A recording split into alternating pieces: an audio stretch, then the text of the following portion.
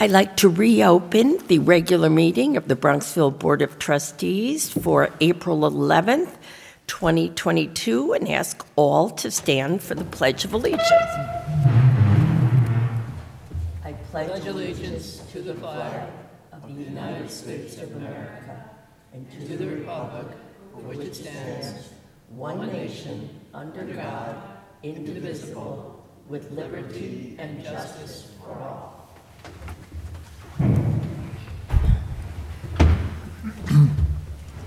Tonight is our um, annual meeting, for want of a, a better word, and we have annual appointments and annual actions, and um, I would, um, I would be happy to read them if that's, um, if that's all right, Mr. Palmer, and just read them now? No. Sure. Okay, and do I need, I think if you, uh, if you make. do I need a motion to accept these? So before I read our appointments, council?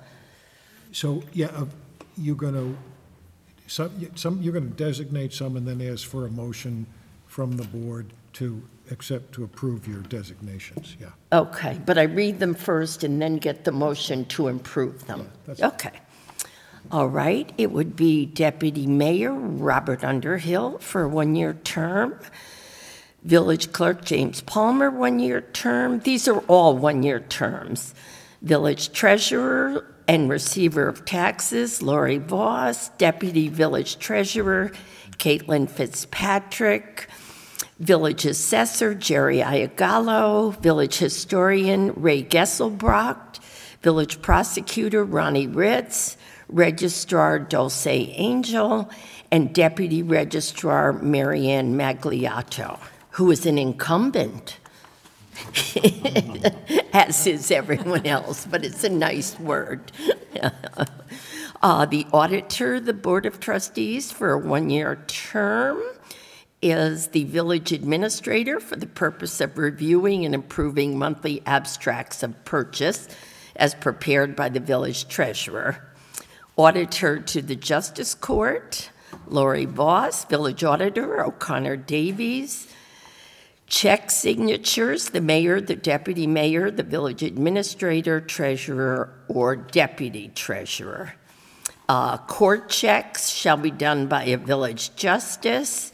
Bank transfers and federal wire transfers must be signed by any two of the following mayor, deputy mayor, village administrator, or treasurer. Uh, Goods and service not subject to competitive bidding. Uh, Estimated purchases between 1,000 and 2,999. uh, 3,000 to 19,999. Um, These are a procurement policy. Essentially, if it's under $3,000, you need two, two quotes. If it's under $20,000, you need three quotes. And if it's above $20,000, um, it has to be a public advertised bid. Is that a fair Yes. condensation of that? Okay. Public Works, if it's under $5,000, it's two quotes. Under $35,000, three quotes. And 35,000 or more, subject to publicly advertised bids. And this is all state law. This is Right, not village law. State That's New York state law, law. yes.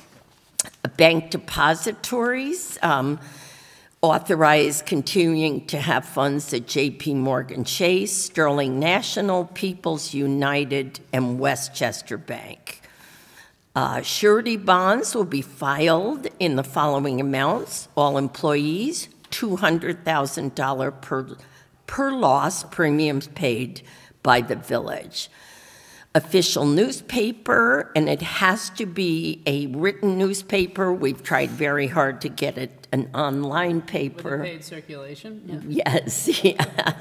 But so it, it is the journal news, and that's where all publication of legal notices will appear. Uh, Meeting dates of the Board of Trustees, 7 PM on the second Monday of each month, excluding the month of August. And if I could just clarify on that, and that for the public's edification, that is a change. The board used to begin its regular meeting at 8 PM, but I think it was the consensus of the board that 7 o'clock was uh, more appropriate, so we did make that change, so. Perfect. And there will be no August meetings unless uh, publicly noticed. And meetings are subject to our adopted rules of procedure, which was last amended in 2020. And mileage reimbursement is going to change starting on Jan 122, the standard mileage rates for the use of a car, 58.5 cents per mile for business miles driven. All right, those are the, um, the very much required ones. The next ones are boards and committees.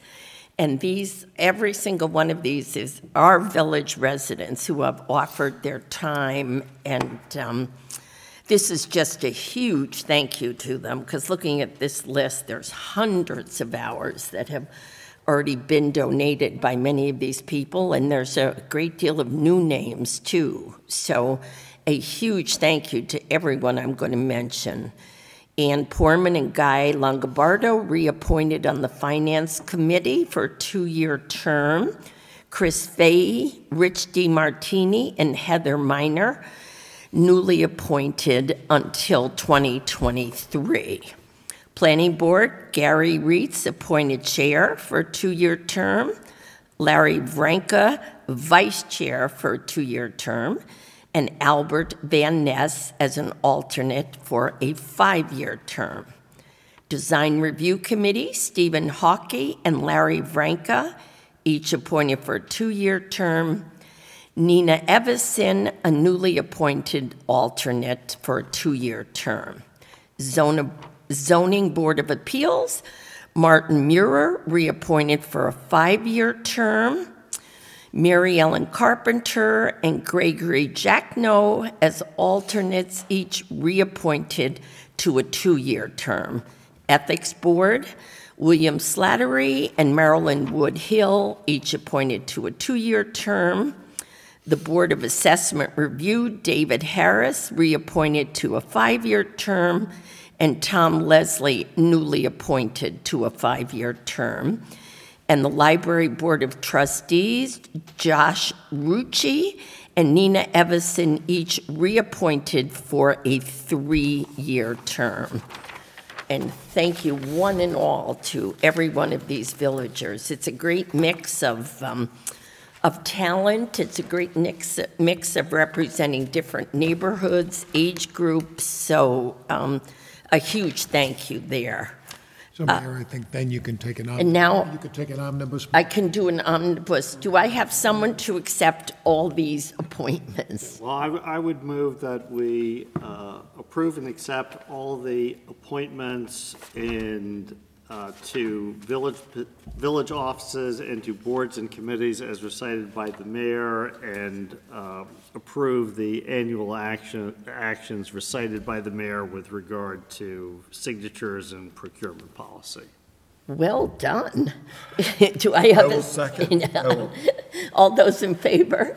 Aye. Opposed? Motion passes. Well done, trustee Yeah. Fredericks. Yes. uh, And I just want to say, our colleague Mary Behrens is not feeling well tonight, um, uh, but she's aware of all that um, we're going to be doing tonight. Um, Mayor's report, just asking you support our movie theater, our picture house. I'm writing this week about ways that you can join to be part. You can certainly go to the movies, which would be wonderful, but the way to join the um, picture house family.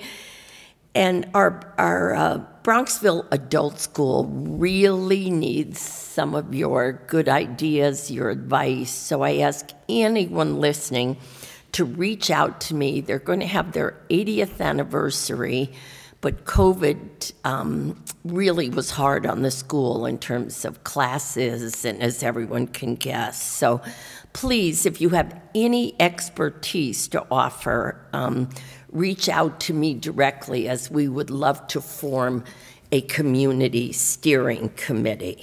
Um, a couple other, some great news. I just got notice this afternoon from our county executive, George Latimer, and our county legislator, James Nolan, that um, they work together in a real nice bipartisan way, and the county DPW is going to put back the, the bridge that was washed away in our park. So huge, huge success. Um, and I thank both those gentlemen because they, they worked on it together and um, And uh, Mayor, I think you deserve some credit for, annoying them. yes. Yeah, yeah. Advocating, advocating on the village's behalf. Uh, well, I just know it, it, it's used by Tuckahoe, Yonkers, Bronxville, and, and I live near it, and I see all my neighbors. I realized I was going to say seniors, but I am one myself. Um, and it's people relied on that because it was actually a one mile loop. And now it's very, it's, it's just something that's small, but the ripple effect is huge. So I just was thrilled to get that email. They they're start. Well, they're going out for, um, what, planners to plan it, to get the specs for, so they're gonna start the process immediately, but honestly, how long it takes, I'm not sure. Um, And then we also uh, heard from Congressman Bowman's office. Um, They actually reached out to me after reading my column about, you know, people who are food insufficient in Westchester. And uh, the deputy mayor and I have actually been in contact with their office, and we're going to kick off a food drive in the village uh, with the congressman coming at 11 a.m. on Sunday, April 24th. Um, and Bob uh, very graciously volunteered to be the point person on our end. And where, where we'll just, where- Oh, in front of Village Hall, we're going to start because every, all the donations will be at Village Hall. We'll send out an e-blast um, as to, um, the congressman's office sent me ideas of what kind of food people would prefer, and it'll probably last a week, and, um, but I just wanted to announce it, that literally was this afternoon before I came back over. Because we have to remember, one in six of our neighbors in Westchester are food insufficient. Um, and the police department, in the uh, same kind of spirit, they're, they're um, coordinating with the Yonkers Police Department. And until May 7th, you can drop off any prom dress in a um, uh, box they have at the police department is because they're looking to get dresses so every young lady who wants to go to the prom and they have a, a place in Yonkers where they're going to sort them and size them and then people can pick them up. So anyone out there with dresses, you can start bringing them in now through May 7th. Um, finally, just one nice um, just piece of news. Yesenia uh, Tovar, our assistant court clerk, got a day named for her in Westchester County. It was the Yesenia Tovar Day on March 25th. And she got letters from the congressman, the head of the Yonkers City Council. She even had her name on that big marquee in front of the county center um, because she took it upon herself to um, get grant money to start a self-defense program for women in downtown Yonkers. And the YWCA got the program started, and I think she told me they've graduated two classes already of um, women. So uh, just another great thing our employees are doing on their free time. And I just want to end it with wishing everybody a joyous Passover and Easter. And that is my report. And then we go to the village administrator. Thank you, Mayor. Just a couple items. Uh, Just wanted to let the public know that the village is in receipt of additional COVID test kits here at Village Hall. Uh, The um, Westchester County uh, and our um, State Assemblywoman Amy Paulin, uh, as well as our Senator Shelley Merritt, have been very supportive in providing us supplies. So uh, we do want to make those test kits available to uh, any resident, and we only ask that um, if you could call uh, Village Hall in advance, and we'd be happy to provide you uh, with a box which contains two of the test kits.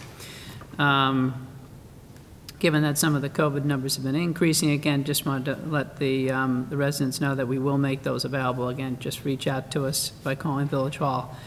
Uh, Also, just also want to remind all the residents that we do have a idling ordinance, uh, or a prohibition of idling of your vehicle for more than three minutes. And this is, um, this has been uh, brought to, uh, a request to uh, enforce that has been brought to my attention by several residents, given, um, given the impact on the environment and also uh, the global impacts to um, the supply and price of, of oil. Uh, So, um, again, just wanted to let the committee know that we do have a prohibition of idling of your vehicle for more than three minutes. We've gotten some complaints of idling in front of the school for extended periods of time during the, the pickup and the drop-offs, um, or I guess the pickup in the afternoon. So we have advised our uh, part-time parking enforcement officers to simply go around with some flyers, tap on some windows, just ask some, a resident if they could uh, turn their car off. Um, And Stephen and I were discussing today, possibly even a, um, some type of, not necessarily a campaign, but a program with the school for the, for the children or students to, uh, perhaps one of the student body groups maybe to help um, educate the students in that we do have that provision in our Peace and Good Order chapter of the code. So anyway, we're going to work on that, but try to remember, everyone, that um, we don't want vehicles idling in the community for extended periods of time. Uh, Then I just want to remind everyone uh, that with Friday uh, being a uh, holiday uh, pursuant to village contractual agreements, there will be no refuse collection on Friday. Uh, And then I just wanted to report to the board that I did meet with Con Ed on site to go over some of their upcoming gas projects this summer. And I will be reaching out to those neighborhoods, again, primarily being the continuation of the new gas line installation down Midland, which will uh, also include Willow as well as Hawthorne. So uh, to those individual neighborhoods, I will be uh, providing uh, additional information in the future, but the plan will be to uh, have Con Ed start that work after school gets out at the end of June. But as we always do, I'll walk, um, or send emails and notification to the individual neighborhoods. I know it's, it's an inconvenience, but at the end of the day, we do need, the utility company does need to upgrade their gas infrastructure. Uh, And I am also Jim, will that, will that gas work, gas line work, will that, will this be the final year of it, or will it? Yeah. It's a multi-phase, so this will not be, so for this year, I envision, and again, we've been trying to break it up into what Con Ed, what we can get Con Ed to complete during the summer and allow us to pave before the end of the summer, before Labor Day.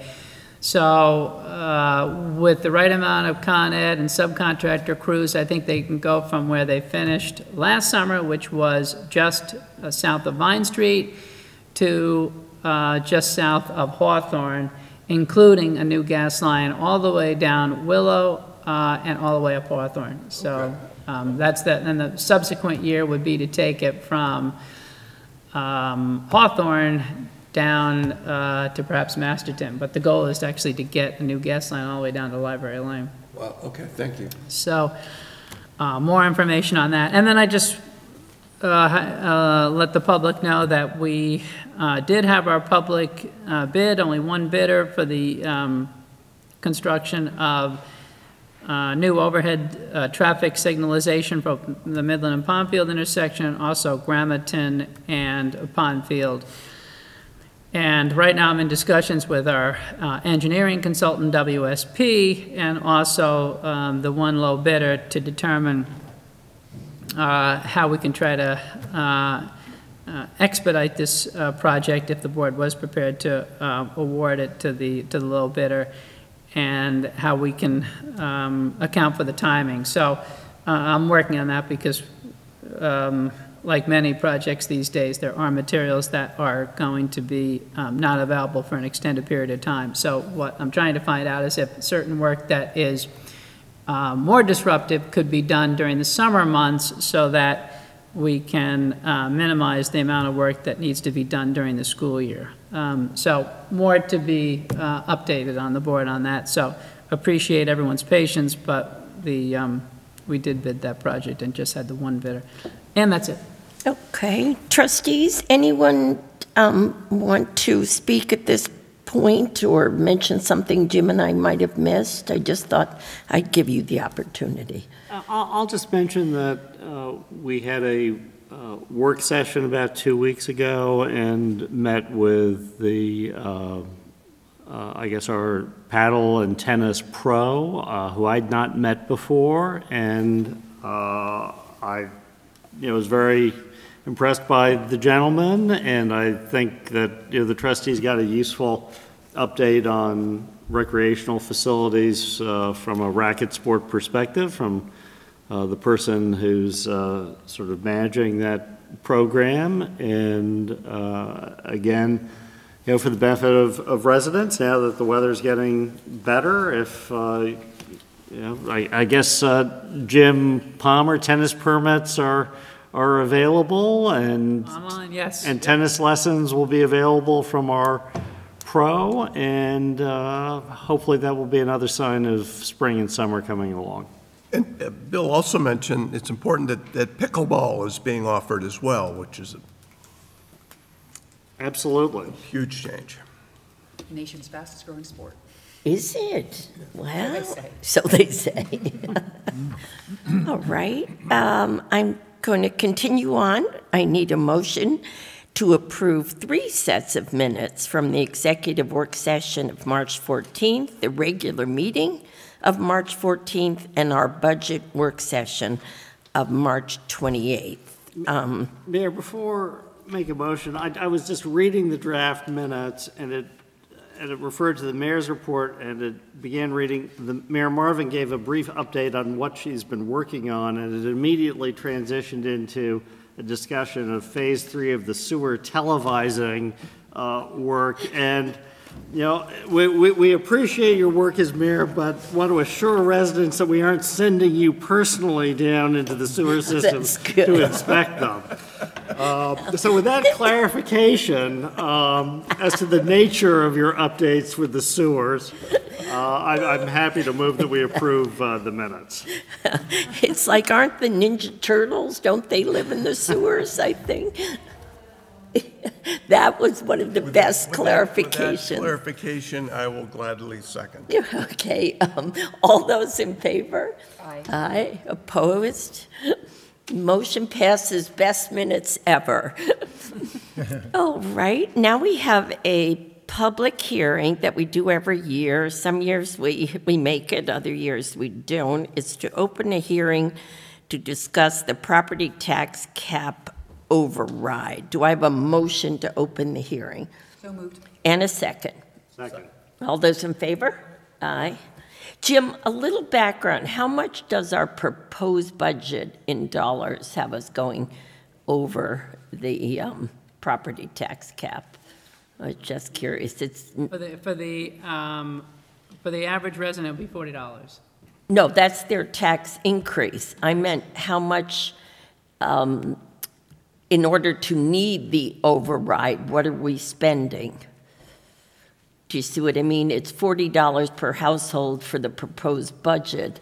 If the house, that's a median house of two point two million too. Right, right. Uh, I'm sorry, uh, the amount in excess, uh, of the levy in excess of the uh, tax cap is 150, 156,000. Okay, okay. And the issue here, quite frank, is people understand this is not two percent of new services. We wish it was. This is, This is whether we can stay within, I mean, for example, when it comes from the state that our medical expenses are going up 7%, this is a lot of unfunded mandates, and this, this is reflecting fuel costs and health insurance and pension. And um, uh, what's also interesting is villages, unlike school districts and the state, any of our construction projects have to go into the tax cap. Um, As example, we could have never done the pumps over at the school if we adhered that year to the cap. Um, And New York State doesn't apply the cap to its own budget, which is also rather interesting. So we never like to go over, but some years with costs, um, uh, we, we do, have- I think we've gone over once or twice in the past few years. Right, But and and to that point, to your question is, so in short, this year, we're going over the tax cap because we are uh, reducing our reliance on unassigned fund balance by 150,000. So in other words, we're going over the tax cap by 156,000, but most of that, all but 6,000, is because we're reducing our reliance on fund balance so we can maintain a healthy fund balance to do the uh, capital projects and/or uh, borrow at the village's AAA bond rating so we can get the lowest possible interest rates on the long-term borrowing. So our long-term borrowing costs are exceptionally low.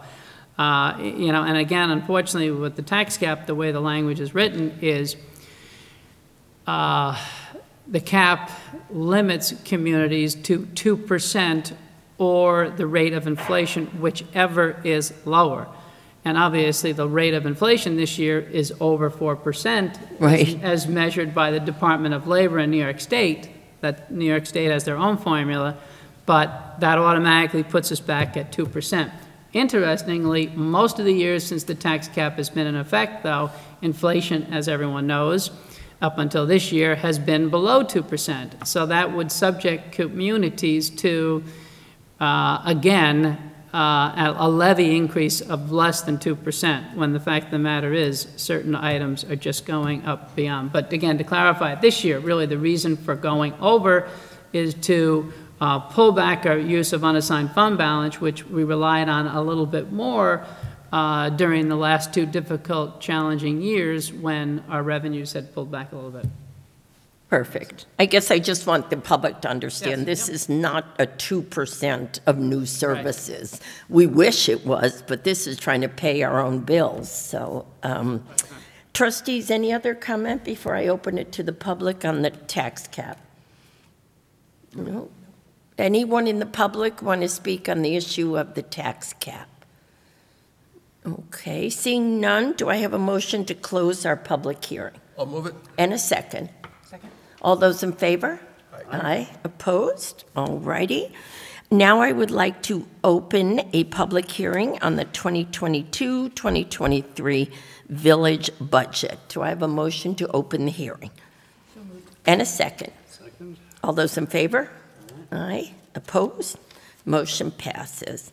And I guess what I did, I didn't want to, um, put together our tax bill, just, I always like it to just come down to, you know, just dollars and cents. And to our average home price in the village, which is $2.2 million, it will be an increase of $40.92 this year in their tax bill if you have an assessment of 2.2. So it allows everyone to kind of have a feel of where they, where they might fit in. Uh, Trustees, any c- comments on the budget? We worked so long on it. um, I just, I want to commend um, Jim and Yeah. Lori for all the incredible hard work they've done uh, throughout the year, not only during budget season to um, put the numbers together, comb through it with such detail and diligence. Um, It makes our ability to look at these numbers so much easier. So I think you all have done an extraordinary job and um, really worked hard to keep the expenses low while still looking for sources of additional revenue. So uh, it's a, I think, a a very strong budget. Well said, here, here. Yeah, amazing job, yes. Absolutely. Thank you, Bob. And uh, again, uh, as a relative newcomer to the board, I haven't seen as many budgets, Mayor, as, as you have, or you, Deputy Mayor, have, have, but uh, you, you look at the, the trend and increase in, in appropriations, and, and it's been very measured, it's been very, you know, it, it's been steady but slow, and uh, I think that's a a testament, you know, also to prior boards of trustees, as well as the continued work of, of administrative staff, uh, Village Administrator Palmer, Lori Voss, uh, over, you know, quite some period of time to really, you know, get us on a, on a path of, of really sort of no, no surprises and uh, a growth rate that, that, that's steady, and I think that's what, what you want to have. You don't want to be going year to year where one year, yes, I'm, you know, there, there's no increase, in the next year, you know, it's increasing ten percent. I think we're all sort of knowing that we're on a steady course and not doing something that, that really has a lot of unpredictability to it. And I, I think that having that, that record of, of predictability, I think, uh, is something that, that's valuable to residents, valued, valuable to us as, as board members, and certainly speaks well of the consistent work of, of senior administrative staff here in the village. I think that's, well, And Also, I'd like to thank, you, acknowledge that the- the budget was, as always, has been very well prepared, and I'd like to acknowledge the fact that I appreciate that the bulk of that work was done out, after the hours of eight to five. yeah, uh, Or Monday through Friday. Um, So th- thank you for the sacrifices you, you've made to uh, make it such a high-quality document and um, so professionally thought through. thank you. Appreciate that. If I can just mention for the public's edification too, we do, um, the budget is available on the uh, village website. If they go to the treasurer's page, uh, you can see the adopted budget for last year and the proposed for this year. It'll take you directly to the, uh, to the link for the budget. And in- included also in that is the, um, is the uh, capital plan, the five-year capital plan, which is a a living, breathing document. But um, just wanted to make sure the public knows that they can see the budget online. So, and I, and I, I did, I just want to thank all the, um, all the staff, because it really does take, um, it is a team effort. We work real hard to review all the appropriations very carefully, um, go line item by line item tediously, um, so I don't have to go through every single, uh, line item with, uh, with all of you, but um, at the end of the day, we were able to, as proposed, keep the appropriations to uh, under 2.5% to 2.31%. And of course, this takes into account some of these um, uh, variables right now that we do anticipate will uh, continue to impact us uh, into the, into the new fiscal year, such as uh, fuel prices and uh, uh, when you start to break those down and the heating costs and how much um, uh, cost to, to operate the, um, the sanitation vehicles, it starts to add up. And likewise, the staff, of course, with going through all the, um, the revenues. And uh, the revenues, we have squeezed almost 2.5% above last year, which, um, as I provided you in some of the backup documents, the good news is that the, uh, some of our go-to uh, revenues, like our permit sales, uh, are um, uh, back on the upswing, so that's, that's all positive. All righty, and now I open to anyone who might be here tonight. And I see our colleagues from the library to talk about our proposed budget. We have our library board president, Margaret Major. Hi, Margaret. Thanks, thank you. Um, Yeah, I, I, I actually don't have a copy of the, of the document that Jim just said is up on the, on the village website. So could you tell me what is the, um, what is the proposed village budget in total? Uh, Total general fund appropriations are $18,457,640. And could you tell me what is the total um, library budget in that budget number? 1,511,259.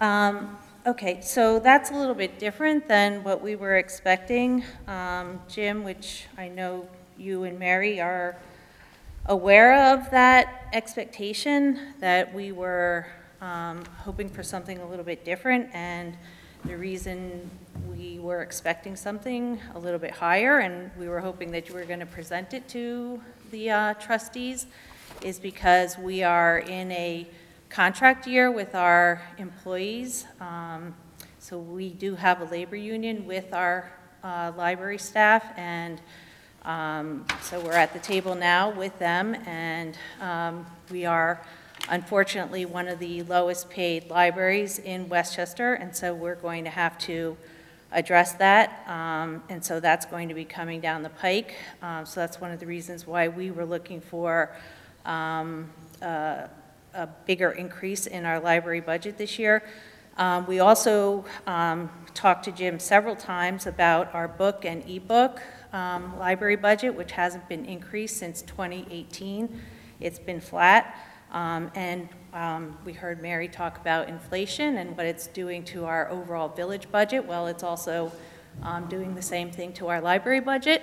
Um, And both of those line items have been flat since 2018. So we did sit down with Jim, with several of our library trustees, and uh, talked, talked it over with him and Mary, um, the fact that we were um, looking for an increase in both of those line items. And by the way, we are decreasing other line items in our budget. um, So there are some offsets. For example, periodicals have been going down because they are digitized, so there are some offsets there. Um, But overall, the number that Jim just cited would be an increase of 21,000, and we more appropriately feel that an increase of 41,000 uh, would be much more workable for our budget this year. So I'm not sure what we need to do to address that at this juncture. I don't know if this is an approved budget, um, or, No, the budget, this is a budget hearing, and we're going to keep the hearing open. We are not, so that we can frankly digest comments like yours, and we're keeping it open until the 24th of April for anyone to um, send in written comments. And I will tell you, Jim, in our public work session, went over, um, as did I, all the library's concerns and the numbers. So the trustees um, were brought very much up to speed on the library's concerns and needs. And, um, and then we will take up the budget vote, but not until after April 24th, when anybody has an opportunity, after perhaps looking at it on the internet, to comment. that, we appreciate that, Jim. Thank you, and Mary, both of you, for um, bringing that up with the rest of the trustees in your work session. And I do have it written, have my comments written, and I'd be happy to provide them to you Be and the terrific. trustees and the public, so that everybody can review um, our, the case that we're making for an, you know, a further increase beyond what Jim has already built into the budget um, for the library for this year. So um, we thank you for that. So, um, If I, if I may, I just wanted to, yeah, emphasize, uh, Margaret, and again, I appreciate um, meeting with you and the board and, and Greg, and while my proposed budget to the board represents the, the one million five hundred eleven thousand, um, one million five hundred eleven thousand two hundred fifty-nine dollars to the library, again, that's my proposed. Once I file it, I cannot change it. However, we did have that um, meeting subsequent to the filing of the budget to, to look at those numbers, and, uh, and that information that you provided has been shared with the board, but, you know, whatever else you have, they will absolutely, I am sure, take that into account that, uh, yes, like in the case of the uh, books, uh, Initially, the, the library director requested 53,000. In the proposed budget, it's 50,000. You've since uh, made a request, along with the other board members, to have that increased to 60,000, I believe. Uh, And that's something that the board will definitely consider. okay, thank you. Yep. And, uh, and as I said, uh, we'll provide those, those comments in writing as well, uh, so that the village trustees can review, and the public can review what we're requesting. So I'll just conclude by sharing that, you know, we did just recently do a strategic plan for the library and did an extensive survey of village residents and had overwhelming positive support for the library. So the library is considered to be one of the great amenities and one of the, one of the things that provides an, you know, a serious qua- uh, quality of life amenity to village residents. So I hope you'll take that into consideration when you, when you think about the, uh, the library budget. I'll also just uh, put forth that the, um, the Friends of the Library are obviously great supporters of the library as well, and that their funds are raised for special projects. They're not raised to do things like pay for books, which is an operating expense of the library. So their funds pay for things like the village te, uh, I'm sorry, the teen room, which we just installed last year, and that was a cost of forty thousand, which is, a- happens to be in line with what we're asking for, for an operating, uh, budget increase, um, which would pay for staff salaries and books, so operating costs for the library. So, um, please keep that in mind when you think about the library budget. So, thank you. Thank- Maybe if I could just, if I could just say one other point, uh, um, but uh, just, uh, Margaret, I just wanted to remind you and Greg that, remember, in the, um, we do account for unsettled contracts in the contingency line item. Uh, And as you know, we did, uh, my proposed budget did have $47,100 in that line item, which is uh, $30,000 plus more than past years to, to account for uh, those considerations. Yes, Yep, yep, yep, that's right, Jim. Got it. Thank you. yep. Yep, thank you. Thank you. Trustees, any thoughts, uh, clarifications? Margaret, if you could leave your, your written comments, that would be terrific. And thank you. And thank you, Greg, who's our library director, for being here tonight as well. Nice to have you both. Margaret, can I just ask one quick question about the, um, the Friends? Um, So when the Friends do their fundraising, is there like a discussion between the library board or the director um, and the Friends board with how those funds are specifically going to be dispersed and, and spent? You know, what's the, they have the specific guidelines as to um, what they can be used for, and then you guys enter into a discussion on, on Yep, there, um, the Friends meet every month, and Greg meets with the Friends, and there are, there are guidelines, but they're not, um, they're not, it's not decided necessarily upfront what the, um, funds will be used for. Um, and so, but they tend, they do use them for special projects, so, um, things that don't fall under the library's operating budget or the capital budget, like, um, so they don't pay for things like the HVAC system, or if the buil- building needed a new roof, or it needed, um, repointing of the bricks, or anything related to maintenance, um, they don't pay for that.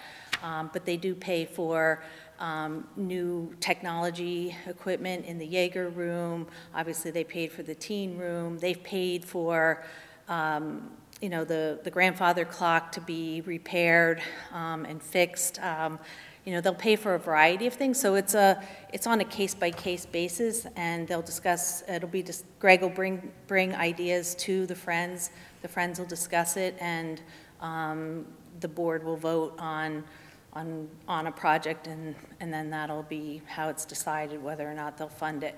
But um, for the most part, if it's related to, you know, staffing or salaries or building maintenance, um, that's not what they're looking But for, for like, for books or, uh, you know, um, Although I will say, they do, they do, they will support, they have been supporting the um, digital book um, purchasing.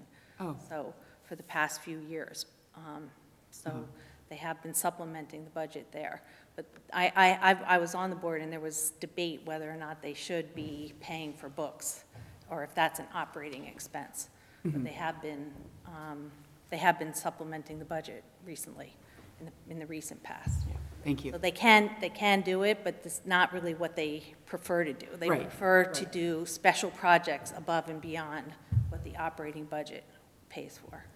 So one thing I just want to also um, mention before I leave the podium, which is that, you know, Greg, Greg, um, we're like, we're very fortunate to have um, Greg as our library director. He's an excellent budget manager, and he has come in under budget every year since he's been running the library. And in fact, this year, he's, he's running below budget and expects to come in somewhere in the 95 to 97 percent level um, relative to his budget, and he did the same last year, too. So he keeps adding to the unassigned fund balance. So he's a contributor um, in that regard, even though we know that we, we do not generate revenue. um, We are, you know, our revenues are property taxes. Um, So we are supported by village property taxes, but, but we do have a very good budget manager in our library director, so, thank you. Thank you, Thank you. thank you. Also add that Greg had a major impact in reducing the co- costs of the HVAC project, and so um, hats off there as well. Yeah, We're incredibly fortunate to have Greg there. yeah. Thank you. Any other comments? Do I have a motion then? No, I'm leaving the public hearing open. So you can uh, Close it, make a keep it motion to yeah. adjourn it to whatever, whatever date it is you're going to adjourn Okay. it to? Or to, and, and to, uh, there's, uh, to, uh, keeping it open for written comment till, to such date, is that what we're gonna be doing? Yes, Yep. yes. Should, should we vote on the resolution to pass the property tax cap override? That we're we going to do that? down in, didn't- I thought maybe you were. down in the resolutions. Yeah. Um, So Jim, let me understand, is, is it Closing that the pu- the, so the closing budget, the the public public hearing will be, is going to be, Remain open for a written comment. okay, is to, is going to be adjourned for the purpose of submitting written comments Right. until 24th. the Till- 5 o'clock PM on, Uh, till, uh, Sunday, April twenty-fourth at five PM. at 5 PM, at which time the hearing will close. Yes. Okay, so that would be the motion if someone wants to say so. Phil will say it. Six- And I'll just say, I, I- I'll move what Jim Staudt just said. Oh, Can't you repeat We- it again? Yeah, yeah. And I'll second it. All those in favor? Aye. All I'm I'm right. sorry to be so nitty about that, but in the budget, the statute requires the closing of that hearing to take the next step, and that's why I'm trying to, Perfect. No, that's, that's, we count on you down at that end to help us out on these things. Thank you, Jim. Okay, now I would like to open a um, public hearing uh, for consideration of amendments to Chapter 260-14 of our sidewalk maintenance and repair law. Do I have a motion to open the hearing? And a second? Second. All those in favor? Aye. Uh, Trustee comments, and I know my colleagues on this end of the dais have been uh, working hard on this, so uh, both, either of you, I'd love your thoughts. Well, I'll, I'll go first by saying that as part of the village's initiative to look at safe streets, uh, to improve the sidewalk networks, to, you know, also look at our crosswalks and do some intersection improvements. Uh, as part of that broader effort, uh, you know, we wanted to look at the existing code provisions regarding sidewalk maintenance because property owners do have certain customary responsibilities uh, to maintain and take care of sidewalks that are adjacent to their property, even if it's in a village uh, right-of-way. Uh, I guess the uh, obligations, specific obligations, uh, uh, I'll address the question to village counsel, are typically included in statutory provisions. They're, they're common law obligations. And so we'd asked um, Jim Palmer and village counsel Jim Staudt to just review the existing code provisions to make sure that uh, they were up to stuff and in accord with uh, what our current understandings of those obligations were, and to see whether they needed any clarifications. And, uh, and, and so we have a, a revision here. I'll let Jim, either of the Jims, speak to them specifically. I, I know that uh, Andrew Langhoff of the Village's Safe Streets Group uh, wanted to be here tonight. Uh, He emailed the following comment, which he asked to be reflected uh, in our minutes and proceedings uh, on this subject, and he uh, writes, uh, "The Bronxville Safe Streets Group recognizes that sidewalks are essential for safe walking in the village, a goal we, the Safe Streets Group, strongly support. As such, our village sidewalks need to be in good repair and free of obstacles. For these reasons, we believe that allowing the village to move more quickly to repair our sidewalks and to seek reimbursement from property owners for work done on their behalf is reasonable and laudatory uh, as a position for the village to take. Therefore, we support the passing of the proposed amendment to the local law as regards sidewalk repair and maintenance. Um, So that's a comment from the, the citizens group, which has been providing very useful input on all our broader initiatives to improve walkability uh, in, in the village. Uh, Trustee Knapp, if there's, feel free to add and expound. I, I don't think I could. I think that was a great summary. Um, Maybe after you talk about some more of the specifics, I can uh, add if we're going to go into the details, but Yes, would, would one of the, the Jameses just give a quick uh, overview to the folks um, trying to understand? I mean, many folks actually didn't realize that the sidewalks abutting their property were their responsibility and not the village's. So this could be a, you know, a fairly big change for some folks. Go ahead, Jim. Yep. So um, we, the village, in its code, uh, ha- had and has an existing law that generally provides that the property owner adjacent to a sidewalk has the responsibility to keep it up to stuff. Um, But the, um, after Jim Palmer and I looked at the law with the charge to make sure that it's up to date, um, both in terms of sort of current statutory construct, but also in terms of our current practices and so forth, and also picking up on one or two issues that we want to be sure are clear to everybody. So that was our charge. We decided it, it did require amendments. Um, One issue was while, while it was always the understanding that the requirement is that you as an adjacent owner are required to repair and if necessary, replace your sidewalk, we thought the language could be tightened to make it, to make it clear that replacement is also part of the obligation if it is necessary. So we tightened that language. There was, we became aware through the work of the group that was looking at this that there was actually an issue of, of people sometimes having removed sidewalks from in front of their property in the past. Um, And while we, you know, as a matter of what we referred to as lawyers as common law, um, don't think that's permissible. We made that clear by saying straight out in the statute, you cannot remove a sidewalk from in front of your property unless you go to the planning board and go through a process and so forth. I- Unlikely they would ever permit it, but maybe there would be some reason, or maybe someone wants to move it from one area and put it in another, something like that. So we, we made that clear. And then we, we've always had the concept that if we are, uh, if, if it is necessary for you to repair a sidewalk and you haven't done it on your own initiative, the village can come to you and, and, and say to you, you must repair the sidewalk. It's, it is, for example, in an unsafe condition.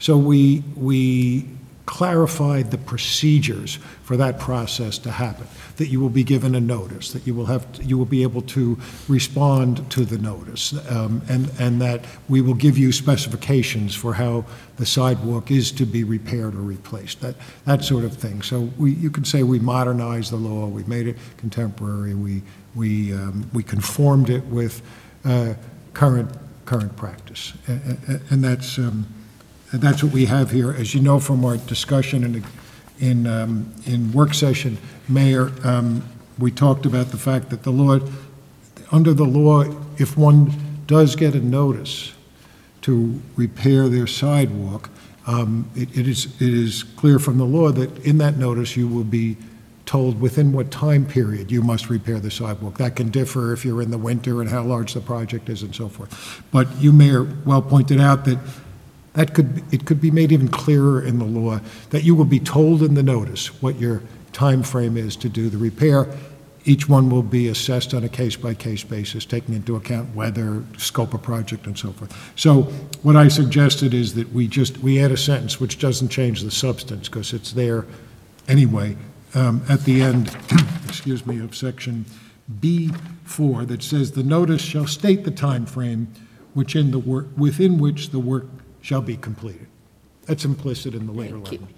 So um, that's what this seeks to do. Perfect. Thank you. Trustees, after that explanation, trustees, any other trustee comments on this legislation? I think it makes tremendous sense. It's Yeah. Yeah, I mean, I think in the context of, of uh, what Bill had mentioned about really, you know, making Bronxville an even more walkable town and, and having sidewalks that are safe and um, easily accessible, really, this um, set of guidelines or uh, resolution really codifies it and makes it much more clear what are the responsibilities, so sidewalks don't disappear, so they're repaired, you know, according to a certain standard. Um, I think it's uh, a really great way to lead the, the way going forward.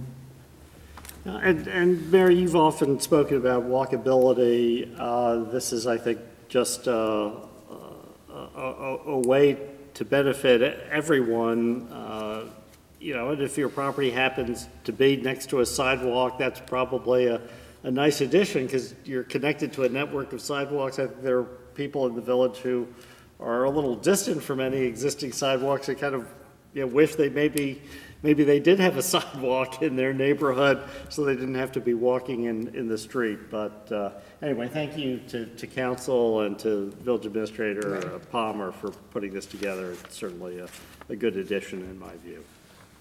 All right. Anyone in the audience who would like to speak to the amendment to the sidewalk maintenance law? Seeing none, then do I have a motion to close this hearing? So moved. And a second. Second. All those in favor? Aye. Opposed? Motion passes. And Mr. Palmer, you always do our new business for us, Yeah, so, uh, Mayor, should, should, should we go ahead and, and vote on this? Because this has been duly noticed, so. are- Right. Are we ready to, to vote to enact? I'm gonna go at the- I oh, was- all. Sure, yep, we can do that one first, yep. we can do that one first, certainly. You can do it now if you want. Yeah. All right. So, so I'd move, move adoption of uh, proposed uh, local law, amendments to proposed local law for, 2022, for 2022. for 2022. All right, I'll second that. All those in favor? Aye. Opposed? Motion passes. Okay, and then the uh, tax cap override legislation, do we have a motion and a second? I'll move that. And I'll second that. All those in favor of the tax cap override? Aye. Aye. Aye. Aye. All those, no, it's a unanimous, motion passes. Okay. Uh, We have one uh, tax certiorari settlement that was recommended by the assessor, property at 81 Parkway Road, one year involved uh, for refunds, 2000 uh, involving the 2019 year. Uh, Total village refunds of $1,554, and school refunds of $6,482. Uh, And that was for the 2019 year. It seemed very reasonable. I'll, I'll move it. And I'll second it. All those in favor? Aye. Aye. Opposed? Motion passes. Can- Can I just ask whether this is under budget? Uh, I, I assume we have some line item in contingency. I mean, th- this seemed to be another excellent year in terms of resolving disputes. uh, You know, Jim, did this sort of come in lower than contingency? If there is a contingency for this? Um, yes, no, no, we've, um, yes, the, the uh, assessor settlements have been terrific, and yes, we do budget for, um, a small amount of, uh, refunds every year, yep. And we're on track or below, I Yeah, guess. we're on track or below, yep, and actually, yeah, right, and well, related to this, something that we didn't necessarily highlight with the, with the budget, but that the, uh, the taxable value has increased significantly for this, um, $100 million. yeah, Over a hundred, a hundred million dollars, which is the highest, um, uh, the village's total valuation of over three billion is, um, the highest in over ten years. So, um, That was, uh, that's real positive. But yes, we budget for those, and uh, even this year, the number of small claims cases, I'm sorry, not this number of small claim, but rather the number of grievances filed was, um, was less than uh, 30, so. It really, Bill, it really speaks to the strength of our tax roll and the re- reval process we went through, oh, that must have been 12-plus years ago, Mary, and, um, and the, uh, and the, freak in our sort of multi-year updating of the tax roll. Well, having just reappointed Mr. Yagalo uh, for another year, I think this is uh, uh, uh, the point, point in favor of his appointment, that the number was, Yeah, was here, so, uh, so low on reassessment and certiorari. I mean, we used to have, prior to the reassessment, and our communities are comparable, we used to have upwards of 300 cases, and we're down to 30. I mean, the, the amount of money saved over that time period is uh, tens of thousands of dollars. So um, uh, Jerry's done a great job to answer, I agree. Okay. Hey, Jim Palmer, can I take you back to the, uh, on the new business items that you're now going through? Item A was the adoption of the property tax cap override. Right. When you considered that earlier, you, you did the public hearing, and you We closed do need but need you to d- adopt you- that, right. You didn't vote the law. Right, we- we do So- need to, right, we so- skipped out, so if we could just still, um. So you need a uh, vote on, the yeah, a a vote on the a tax motion cap. to adopt local law number 3-22, if that's what you propose to do. Yes, we just didn't, I jumped to the tax rate, I should have uh, asked for the motion on the um, tax cap Okay. override first, yep. Do we have to have, is there any rule in this for a voice vote? Uh, no, you, for a, you know, uh, I w- No, thought you- you're there right, let me think about that. You know, let- just to be sure, Sure, let's do I that. think That's a so. good- It's what we call a roll call vote. Okay, All right, let's do that. I think, I don't think you do, but let's, uh, no. Uh, let's, oh, let's do it just to be sure, since you asked. Yeah, just, I don't know why I thought I remembered Why don't we that. still go ahead, do we have Somebody motion makes a and motion second? and a second, then Jim can just call the roll. Move it. I'll- Helen seconded. Then Jim, you can just call out, Trustee- Trustee Fredericks, Aye? trustee Knapp. Aye. Deputy Mayor Underhill, Aye. and Mayor Marvin. Aye. Yep. All right, motion passes. thanks very much. Thanks. Yep, just a nice, uh, just a nice uh, resolution recognizing that the um, proclaiming Arbor Day in the village as, um, actually, uh, yes, recognizing Arbor Day on April 29th of this year. We do this, we do this each and every year. We celebrate in conjunction with New York State, which is the uh, last Friday in April.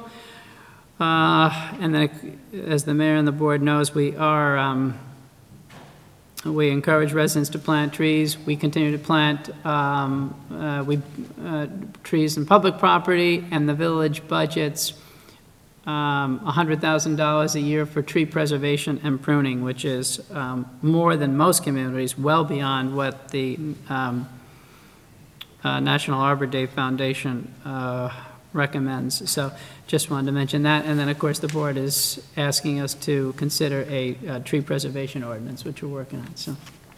Which I think trustee Knapp, you can speak to that as the point person with the Green Committee. Yeah, well, I think um, we've been, you know, considering how, what is the best way to um, work with residents and uh, property owners to um, maintain, you know, the tree canopy we have in the village that, you know, is such a major part of the beauty of our community and such an important um, asset to the environment.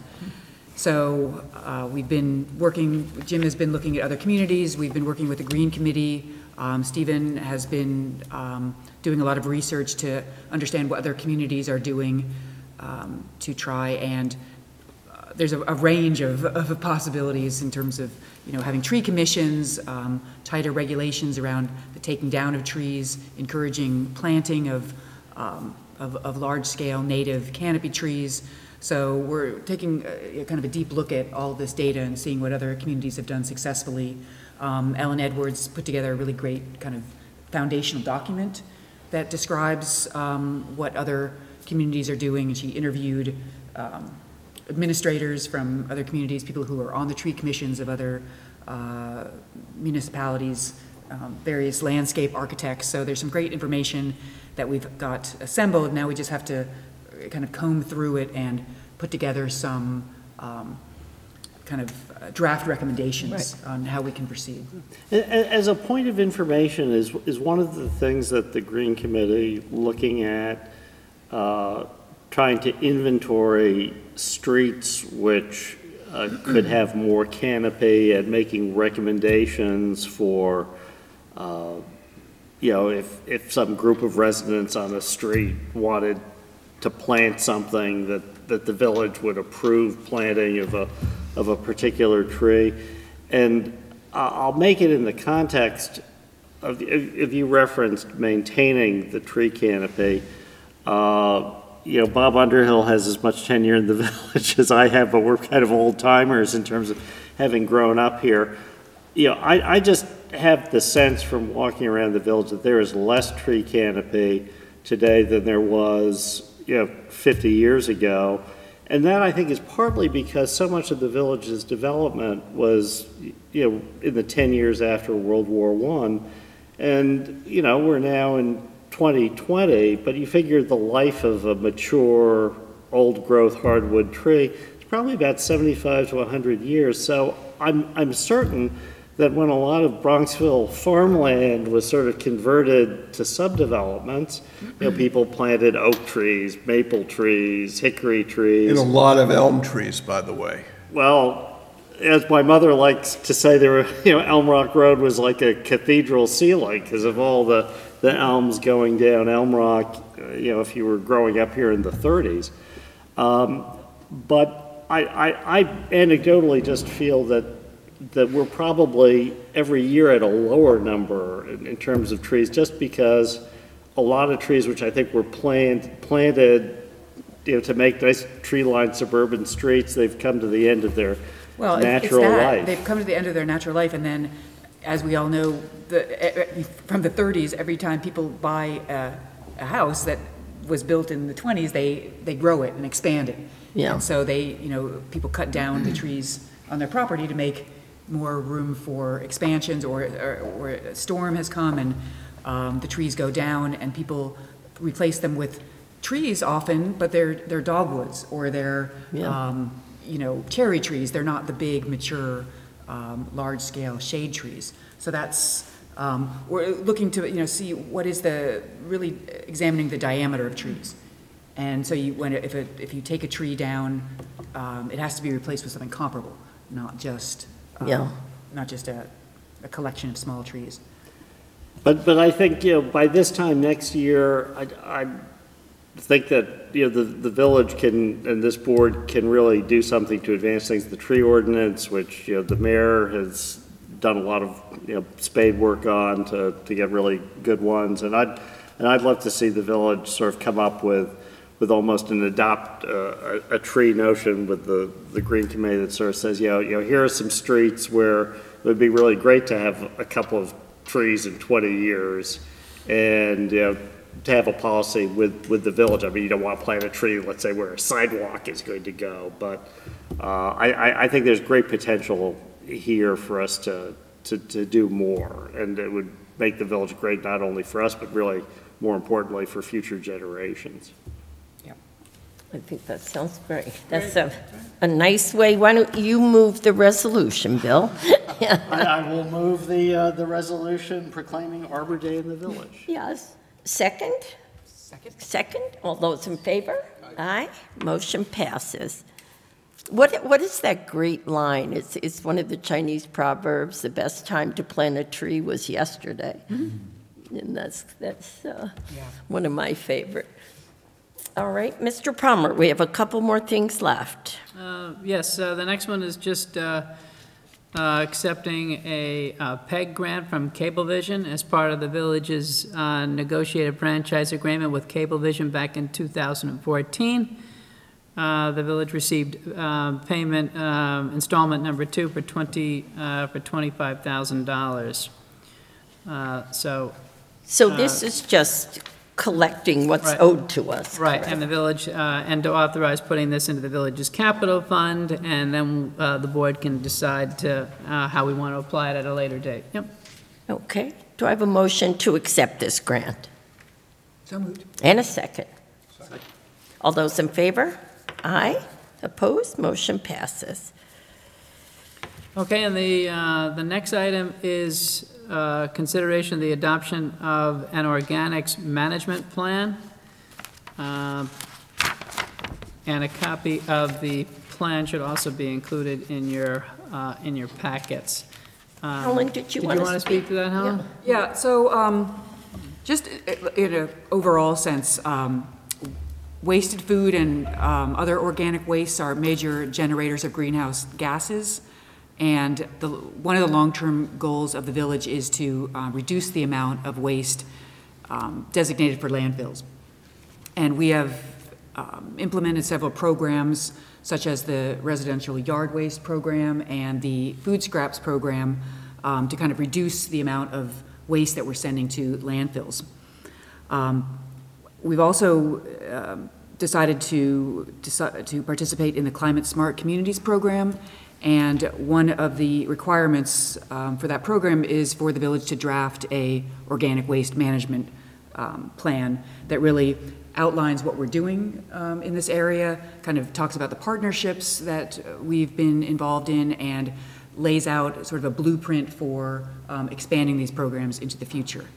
Um, so, like so many of the initiatives in this sphere, we have a huge amount of thanks to give to the Green Committee and, um, and Ellen uh, Edward, Edwards personally, who really um, spent a great deal of time and effort in putting together this organics waste management plan. Uh, It's got a lot of detail, it's great reading, really talks a lot about the partnerships and um, how to expand them, especially in the food scrap recycling program. You know, we've launched that successfully um, in, among village residents, but there's a lot more that can be done in terms of um, expanding to the school. Um, She just sent out a survey to the, um, uh, the businesses in town, the restaurants, uh, the, uh, the uh, food service providers to try and see if they would be interested also in participating in, in the food scrap program. So uh, there's a lot to be done there. So this program, uh, this organic waste management plan, I guess, Jim, will be posted on the, on the website? Yes. Uh, the village? yes, uh, we- Yes, we can do Yeah. that, yep, we should. And I believe it uh, counts for several points, eight points in the uh, Climate Smart Communities Plan, which we are hoping to get enough points to uh, submit by June and achieve bronze status, so Yes, and we have our Assistant Village Administrator, uh, Stephen Shallow, who works with Ellen and works with Helen. And uh, thank you, Stephen, because I know we've, he's um, the coordinator of the Climate yeah, Smart. we've made you the Plan. captain in Village Hall of this, so uh, thank you. All right, so do I have a motion to adopt the Organics Management Yeah, I- Plan? Yes. Yeah, I, I- I was just going to say thank you to to trustee Knapp, because I know that there's been a lot of work by the Green Committee, but I, I know a lot of these initiatives, you know, Helen has just done, done great work to, to move them forward, so thank Absolutely. you. Oh. All right, then do I have a motion? Kind of waiting for Helen to move it. Okay, oh, yes. So moved. Yeah. Well, I will, Enthusiastically. I will enthusiastically support it. Thank you. Touche. All those in favor?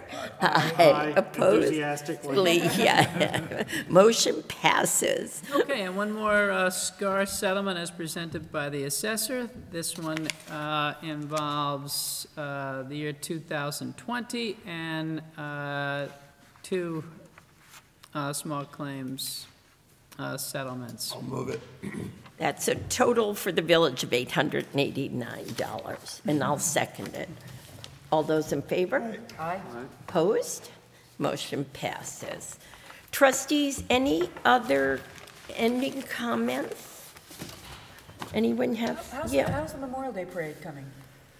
How is the Memorial Day Parade coming? We're getting, Good, good. So put a, put a, put a, We gotta have a committee meeting, right? We're gonna get going on that, yeah, yeah, keep that yeah, momentum, so but. maybe you can mention something. oh, that's, and, you know, it's a great idea to even mention tonight. It's our 100th parade. So we just, anyone has an idea of who should be invited, who would like to be here. Um, If you uh, know of a group, a talent, uh, a band. Library.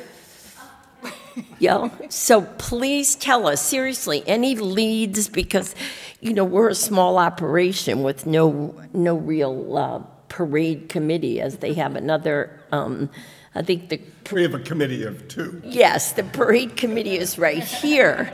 Yes, maybe, maybe three. We have a parade committee of three, three co-captains. But seriously, any help, because we want to make it the, um, Cy and Vicky Ford are coming back from Minnesota so that we can honor them. And, um, we just want to make it as special and as inclusive as possible. So, um, anyone with ideas, reach out. Um, Before we close, can I also just ask, uh, Thank you, was Helen. the, uh, is the board available then to meet for considering adopting the budget that uh, Monday, April 25th? I'd like to get a day on the calendar if we could, uh, early or whatever the pleasure is of everyone. Is that possible? or- Yes. Yes, Uh, Okay, and uh, time that's convenient for everyone? Early morning, evening? April 25th evening is good for me. um, I have to, I didn't bring my calendar. Evening's better for me. Let me, I'll, I'll make it work. Okay. Something like that. 5:30 to 6. Um, Okay, do you think you might be able to do? Sure, I'll figure it out. Okay, all right, why don't we say um, April 25th at um, 5:30 PM, uh, the board will convene. Okay. Uh, Monday, April 25th at 5:30 PM. Okay, great. Okay, and now I open to the public for any comments.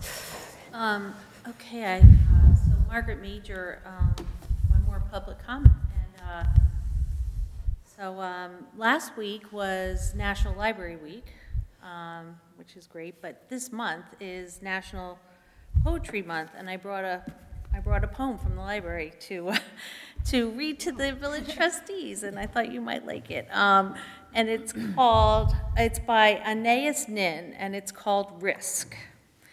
Um, and the day came when the risk to remain tight in a, in a bud was more painful than the risk it took to blossom. Happy spring, everyone. Thank you. Thank you. Thank you. All right, Thank on you for everything you do. Thank you. And Margaret, thank you Yeah. so much, your, your leadership of the library. It's really important. And it's my pleasure, believe me. Well. I love the library. so. Th- That's evident. As we Yeah. all do, and I know we do. so. Thank you. On that nice note, when is our May meeting, Mr. Palmer? I announced 9th, May 9th. May 9th, so I have a motion, do I have a motion to adjourn So moved. in a second? Second. And we'll meet again May 9th. All those in favor? Aye. Aye. All right, see everyone in May. A heads up and reminder, I will not